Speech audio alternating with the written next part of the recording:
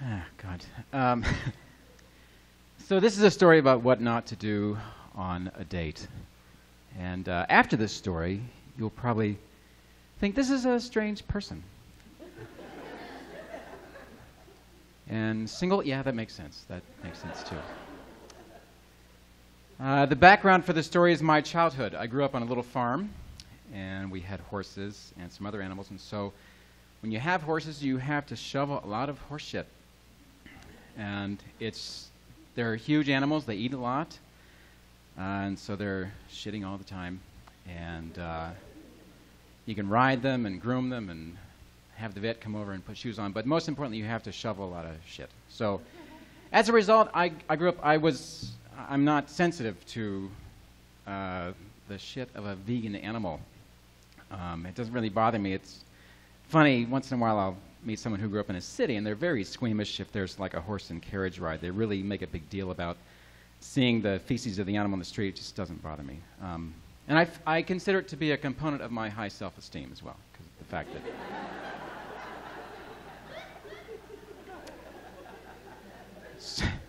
so that's my childhood. And then in the late 90s, there's an event that happens in my life. I see a TV show, a British nature show. They're in the savannah in Africa. And the host, a very funny guy, constantly making little jokes and stuff, and he, he, uh, he's tracking white rhino. And uh, the way you track white rhino, I guess, is to look for its footprints or look for big piles of rhino shit. And um, sure enough, they came across some. It was uh, like a cow pie, which also does not uh, freak me out. And he said, Oh, look at that. And he bent down, jammed a finger into it, then brought it up to his face and said, mm, About two hours ago, just getting different finger.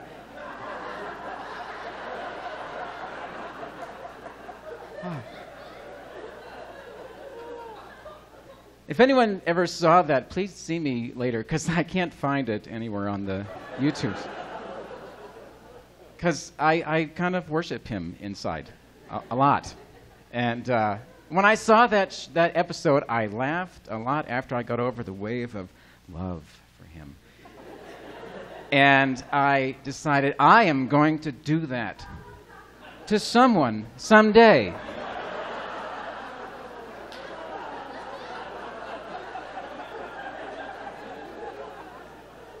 Lord, please help me remember this moment and what he did so that I may someday be with someone a witness of some kind and I can put my finger in wet animal shit and then bring that hand up to my face and put the dry finger in my mouth and make a big joke. And to play a trick on them, to trick them into thinking I have put animal shit in my mouth. This is my idea of like a gift from heaven, you know. So, so this brings us to this date I was talking about earlier. So uh, I'm on a date. I'm very excited to be on this date. Probably too excited, actually. And I think it was about the second uh, actual date with this person. And um, we're on the Mesa Trail, which, if I know a lot of new people are in town now, so I have to say the Mesa Trail is a lovely hiking trail about Oh, don't. Oh, yeah. If I. Yeah, but I. Okay. Sorry. Too late. Um, it's about a mile or two from here in Chautauqua, and it's fairly level, very good for a date. And it was June, a bright, sunny afternoon in June, with this date, and um, I hadn't yet yet learned to do the thing where I could just just calm down, don't do anything, don't do anything stupid, just don't do anything. Put the filter on, just.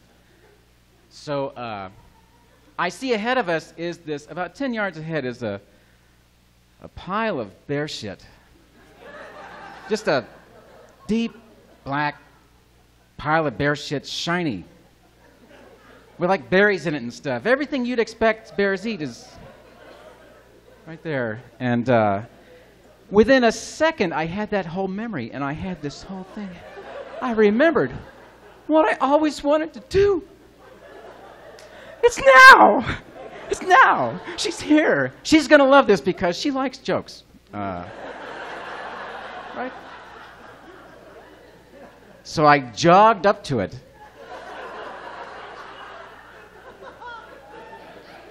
and taking a position so that I'm sure she sees what I'm doing.